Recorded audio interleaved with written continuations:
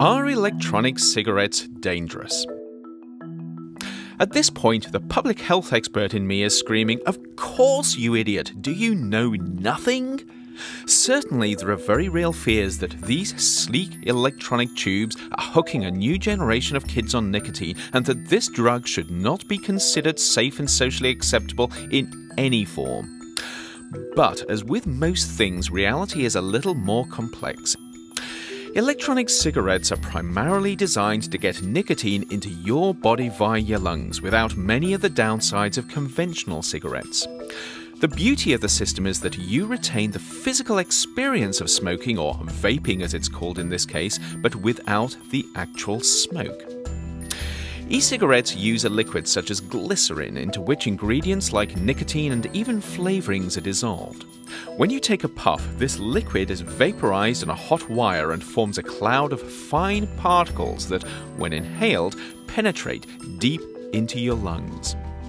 The good news for smokers is that electronic cigarettes don't produce many of the harmful compounds that burning tobacco does, and you get less harmful side stream smoke that regular cigarettes produce. So, at first blush, e cigarettes look like a great way to get your nicotine hit.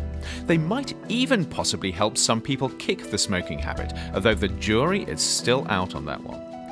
But vaping on an e cigarette still means pumping your bloodstream full of a toxic substance. Nicotine is addictive, it's toxic at high doses, and it has a whole range of effects at lower doses that may not be good for you. But surprisingly, there's not much known about whether the occasional vape presents a significant risk. However, when you puff on an e cig, it's not just nicotine you're inhaling.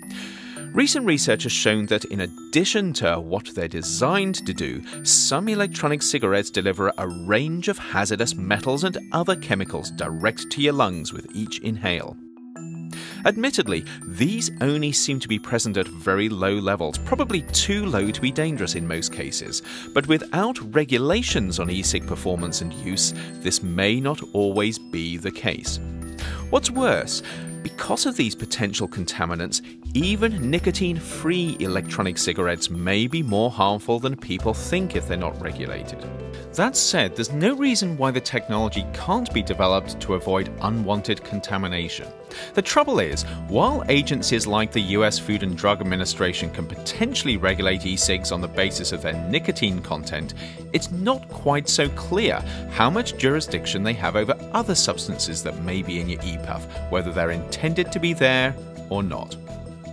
If you have any thoughts on electronic cigarettes and their regulation, please join the conversation in the comments. And remember to check out the additional resources in the blurb below.